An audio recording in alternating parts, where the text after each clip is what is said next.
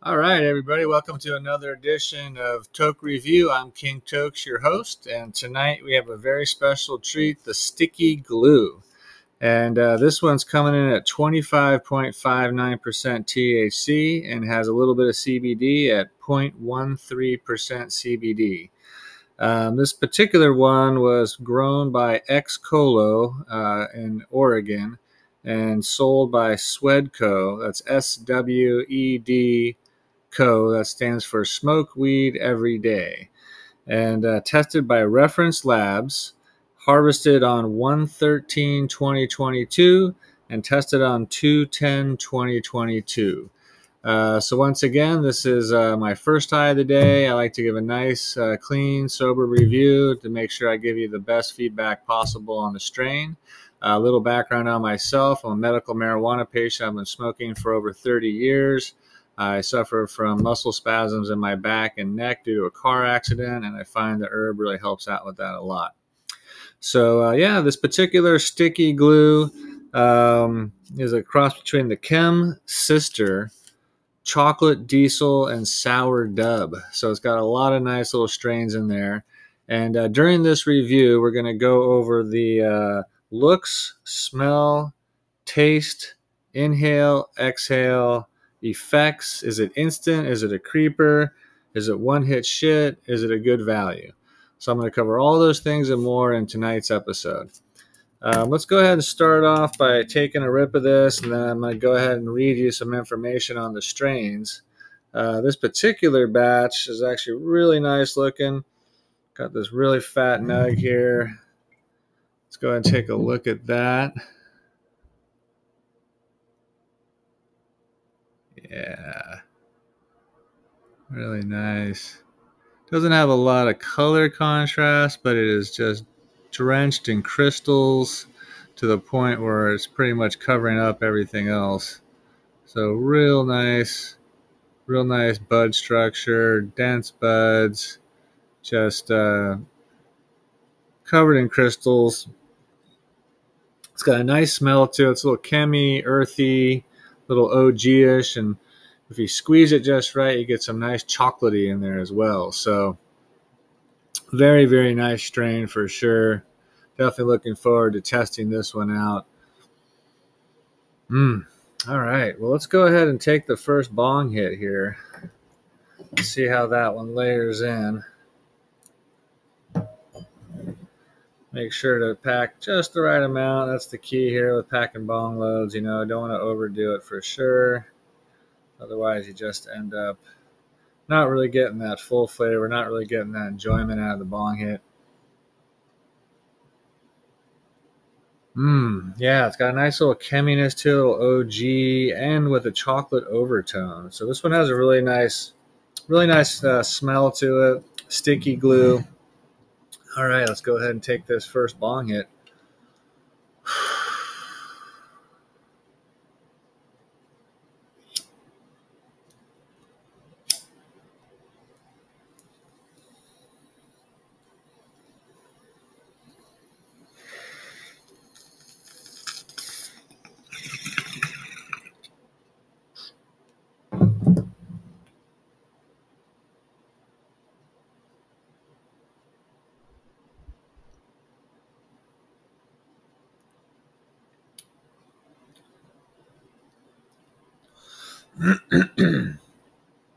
Pretty smooth for the most part. Um, not a whole lot of flavor in this particular one. Um, you know, it was harvested January 13th. So it is, uh, you know, seven months old. Should still have a little more flavor to it. Um, you know, after a little bit of time, getting a little flavor here.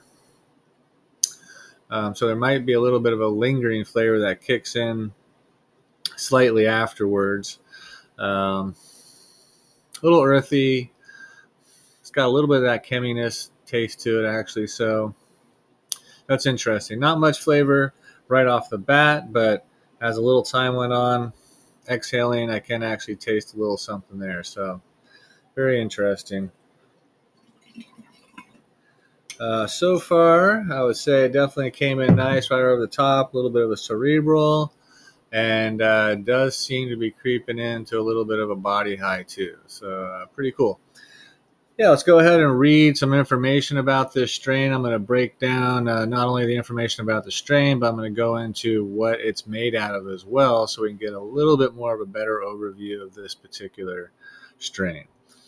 Okay, hybrid strain. Uh, we got the sticky glue is a hybrid strain delivering a heavy-handed euphoria and relaxation.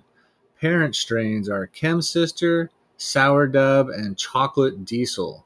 The laid back effects curb stress, depression, and pain. Mm.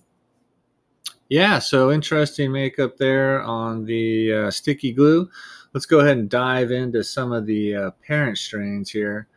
So we're going to look at the Chem Sister. Chem Sister, also known as Chem Sis, is a sativa dominant variation of the classic Chem Dog strain.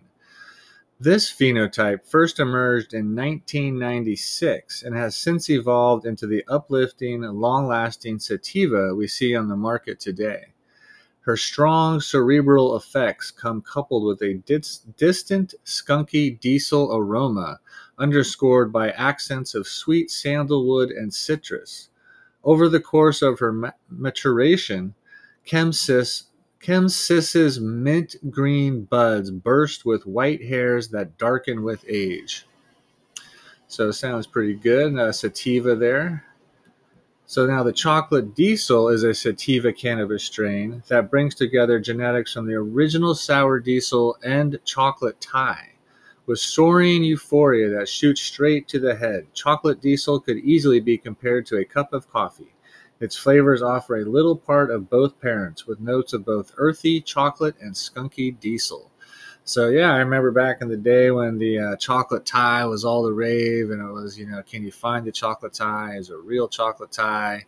You know, all those good questions. You know, because uh, you know back in the day before legal marijuana and, and medical cannabis and everything, it was a lot of the time people would say stuff, but you had nothing to go on to know if they were actually telling you the truth or what, you know. So you try to smell it. Does it smell like chocolate? Hmm. If it smelled like chocolate, then I guess it's a chocolate Thai. So I mean, that's that's the only way you could really know. Yeah. So that's the chocolate Thai. Now that is crossed with the sour dub. So sour dub, also known as sour double, sour dub dog, and sour double, is a hybrid marijuana strain and a mysterious clone only strain of unknown heritage. Sour Double is thought to be a cross of East Coast Sour Diesel and Sour Bubble. The BOG seeds. BOG seeds recreated Sour Double using Res Dog's Sour Diesel, IBL, instead of the ECSD, uh, East Coast Sour Diesel. And the results are very similar. If more indica-like than the original sativa dominant hybrid, dense buds with copious amounts of trichomes produce a pungent sweet and sour odor and a strong diesel flavor, with a sweet fruity aftertaste. The high of sour double is a nice blend of head and body effects.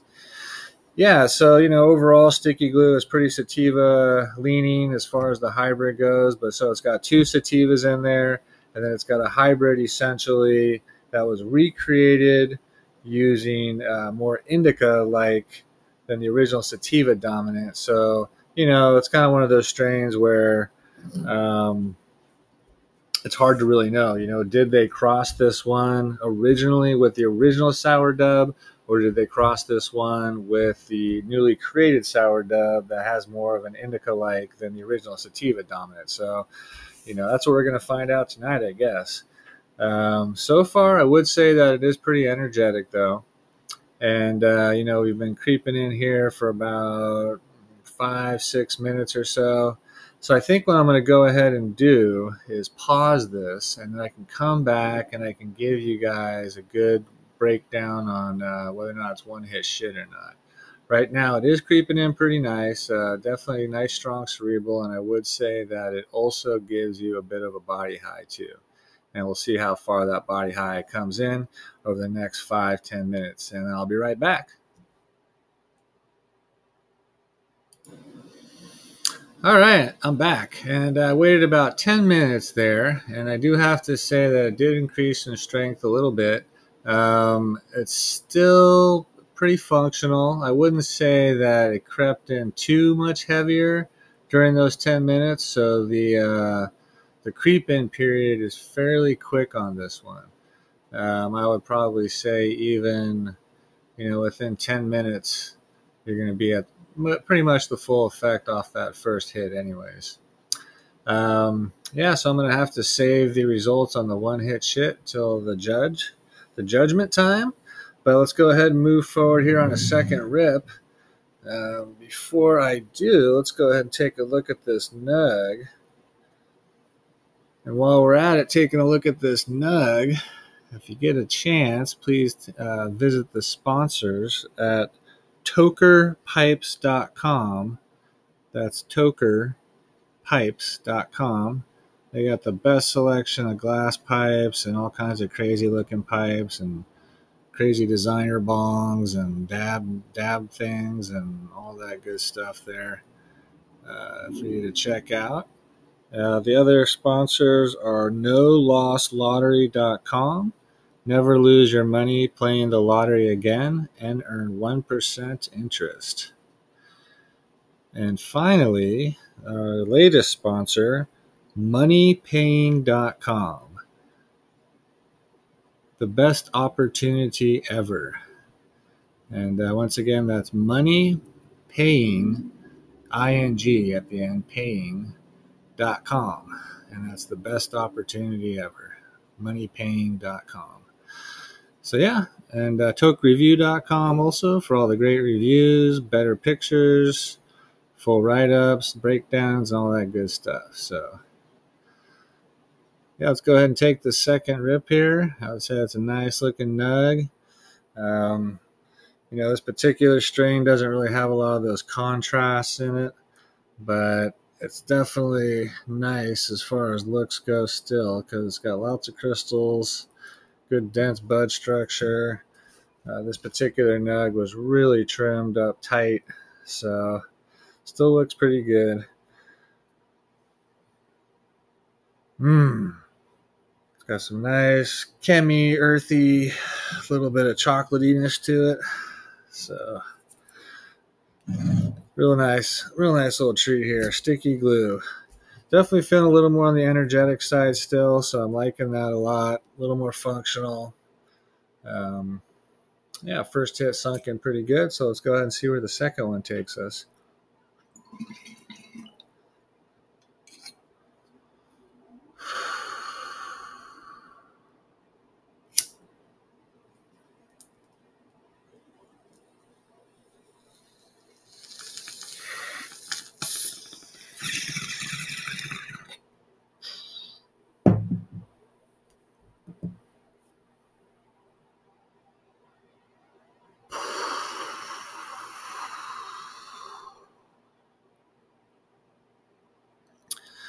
Nice. Yeah, that's pretty good.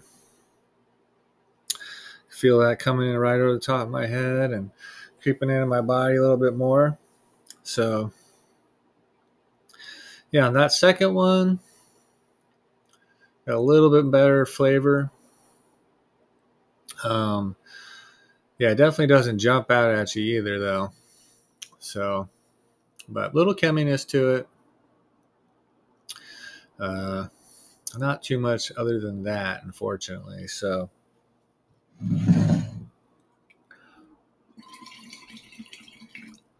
Nonetheless, really great effects. Loving this second bong hit here. So yeah, once again, we're talking about the sticky glue and it's got a THC of 25.59% and 0.13 CBD. So just creeping in there with a little bit of CBD. You know, lots of times the strains don't have any CBD at all, so it's nice to get a little balance there. Uh, one thing I've heard about CBD, and I haven't really tested out myself, is if you take the CBD while you also are smoking herb or ingesting it, however you ingest it, you know, if you're eating it or whatever, edibles, um, the CBD will help balance it out, uh, help neutralize actually some of the THC effects, believe it or not. So, uh, something to test out, something to try. I think I'm going to try that a little bit myself. I've not really experimented too much with CBD. Um, for me personally, it just didn't really seem to be what I was looking for. But at the same time, I think I was pretty inexperienced with the knowledge about the CBD and how to properly use it, really. So I'm going to go ahead and maybe experiment a little bit more with CBD in conjunction and see how that also affects my pain, my muscle spasms, and all that stuff. So, yeah, second one uh, creeped in pretty good. Um, pretty instantaneous, really. Um, nice, clean effects. I do like that.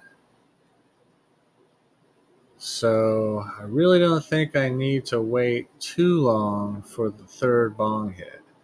I'm thinking on this one, you know, we could probably just move forward and uh, take that third rip.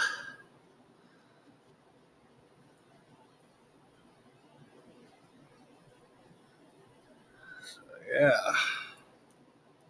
I do like the chocolatiness of this one. Um, you know, there's not a whole lot of strains that give you that nice chocolatey smell. And this one, you can get that a little bit if you squeeze it just right.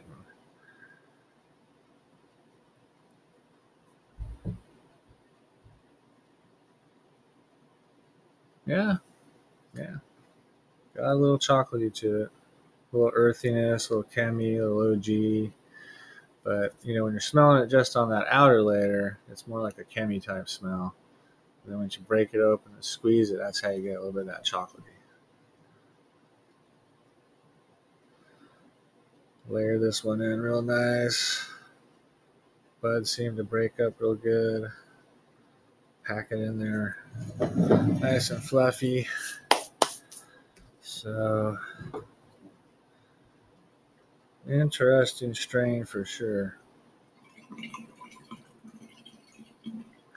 This is my first time smoking the sticky glue, and I'd say that uh, it's a good one. I do like it.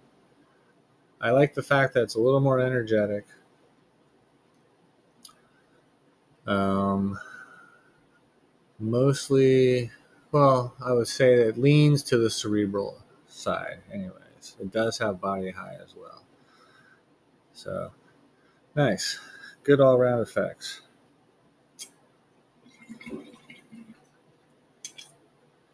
All right. King Tokes take three. Here we go. Final bong hit. I would say that the second one is coming pretty strong. And this third one is probably going to kick me right over the top. So here we go.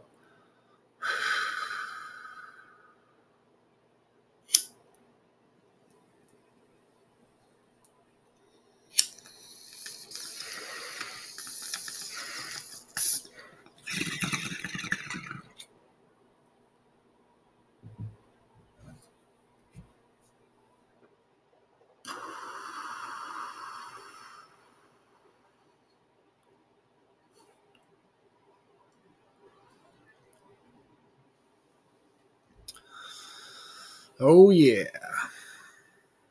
Yeah, it's coming in strong, man. Let me tell you. Yeah, the third one definitely kicks it into a whole nother level for sure. So that's like super stone.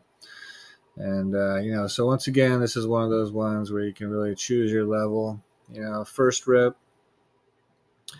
gets you where it's really functional still, pretty clear headed. Uh, you know, and you can stop there if you really want to be able to do stuff. Second rip is kind of like, you know, a little more relaxed and, you know, you just want to chill and uh, have a good time. Third rip is like you just going to want to go for the full experience. You know, you want the heavy effects.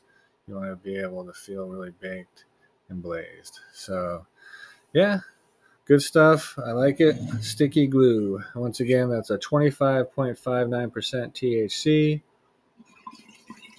0.13 CBD, grown by X Colo, sold by Swedco in Oregon, and tested by Reference Labs.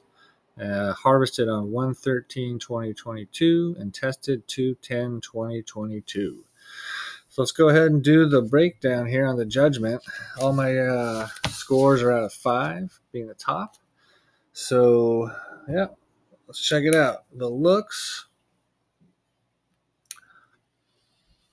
So, yeah, the looks on this one, you know, doesn't really have a lot of contrast to it. Um, it does have a lot of crystals and really nice dense bud structure, tight trim job. So it does have certain qualities that put it up there a little higher still. You know, it's not going to be top top because it doesn't have some of those colors and everything and the fresh crystals and all that good stuff. But I'm thinking this one's going to have to come in uh, 4.5. Be a little generous there, probably, but nonetheless, it is a tight bud and uh, tight bud structure, good crystals. So the smell, it does have a really cool smell. You know, it does smell chemi on the outside, and once you break into it, you get some even fuller OG type flavor and some chocolate. So, and I love chocolate. Uh, didn't necessarily jump out at you, but at the same time, it is there.